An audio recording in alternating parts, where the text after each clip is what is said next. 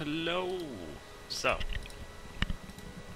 before we get into today's guide, which is going to be um, Tiger Guy, because the last Tiger Guy wasn't actually Tiger Guy, and um, yeah, the last guy was Panther Guy, but this is the actual Tiger Guy.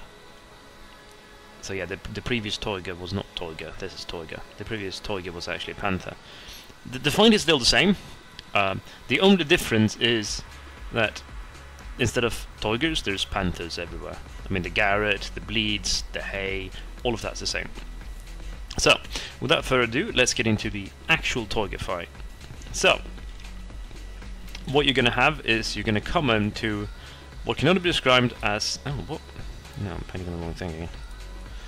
Um, a room. It's going to look something like this. Most rooms do, to be fair. And then the boss is going to be over here. This is a simple seven-phase mechanic, seven-phase fight, not mechanic, be ridiculous. And um, yeah, let's get into it. So the only mechanic here, well, there's only the boss. There's no ads, no ads whatsoever. So we're gonna have the boss, which for some reason got a line there.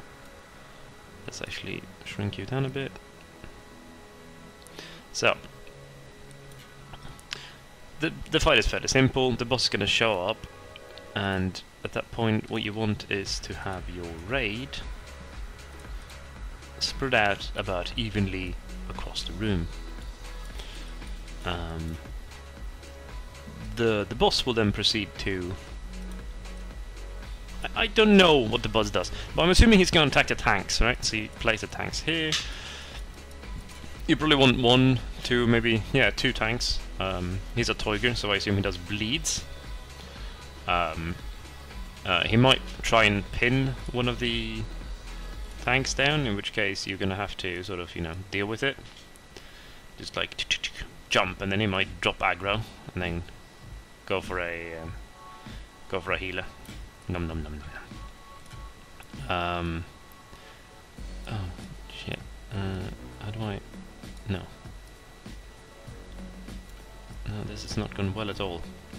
Stop. Yes. Now flip around like so. Ooh. Yeah, there you go. So, um, he might do cleave. He has massive claws.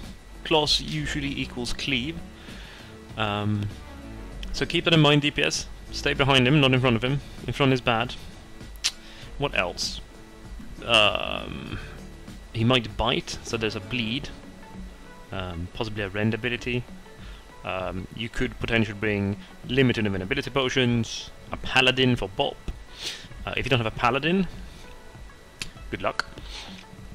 Um, I might enrage, so a tiger with Tranq Shot maybe. Um, yeah, th there's not much else to it. It's a basic tank and spank fight. Uh, he might also go into humanoid form, in which case I have no idea what it does. Maybe like life drain, so interrupt that. Um, yeah, yeah, that's that's about it. That sums up the entire fight, really. Um, and uh, good luck.